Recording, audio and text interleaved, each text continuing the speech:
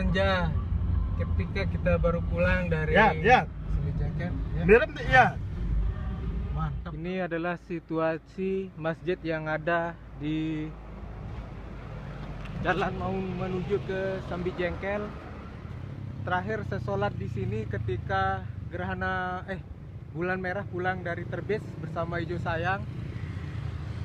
Masjid ini telah rata dengan tanah. Dulu di sinilah saya sholat maghrib. Inilah masjid Sambi, eh, jalan menuju ke Sambi Jengkel dekat rumahnya Raja Wali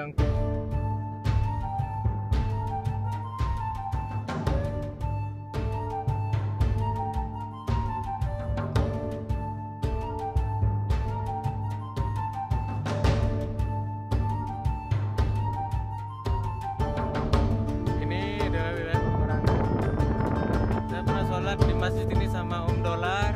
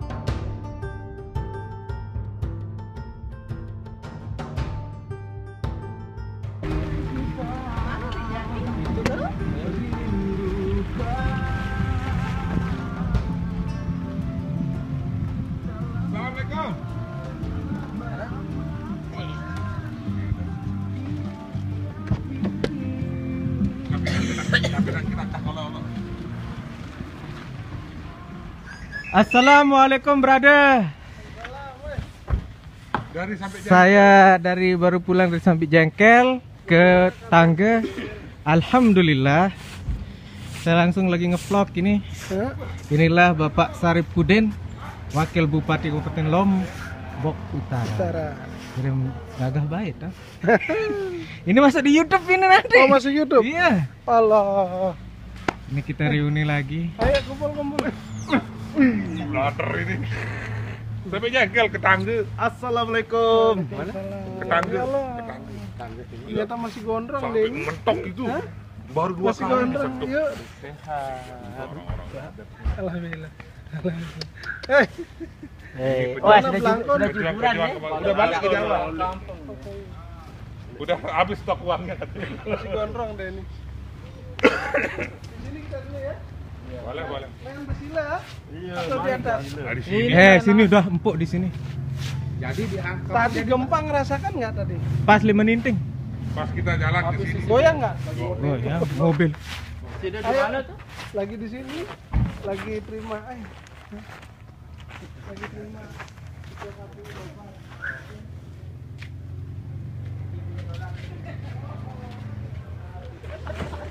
Kayaknya datang Ya. program barbershop itu kayaknya. Ndek melihatin gondrong Malik jaga. Mengenang masa-masa lalu. Ayo ayo. Gua kemarin dulu lagi stres.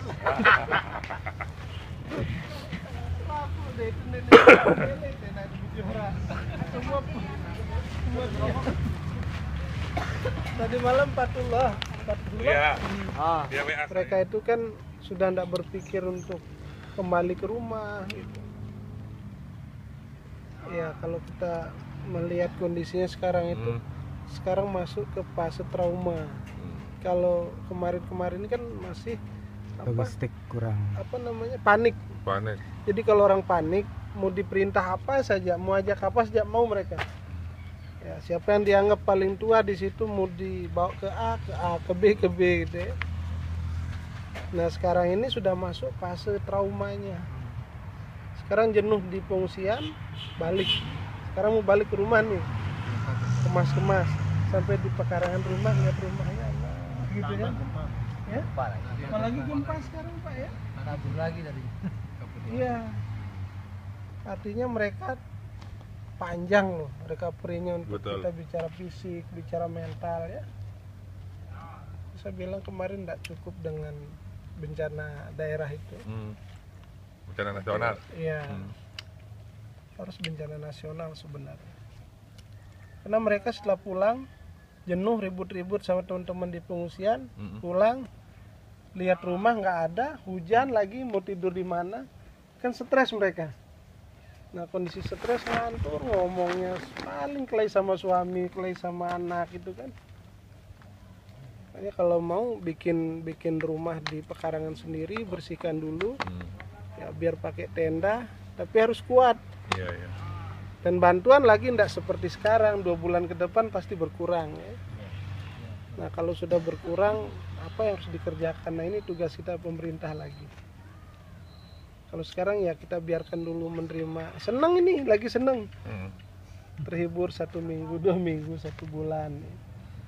Setelah itu baru mereka berpikir jangka panjang. Sekarang itu kan yang penting mereka dapat makan, Hmm. Ya kan? Bisa lewat Dapat semalam. Minum, iya kan? bisa lewat semalam cinta lewat semalam ya yang paling dibutuhkan itu ini terapi untuk trauma healing ya Trauma healing. teman-teman yang mungkin bisa menghibur untuk anak-anak terutama ini Bapak baru ada- sering tangis-tangisan nih di 9 dolar lentera Iya. hati itu kayaknya sudah bergerak dia Kerajaan dongeng udah udah masuk sini. iya iya iya iya. Ya. Ini dan angkatan 99 F tahun berapa terutama anak-anak loh anak-anak yang apa yang masih SD kelas 6 ke bawah ini kan butuh tempat sekolah lagi ini. Kalau ada orang baru diajak ngumpul seneng mereka. Wih, lari. Ini adalah halaman rumah. Wabuk lombok utara yang pecah. Dan mengeluarkan air darah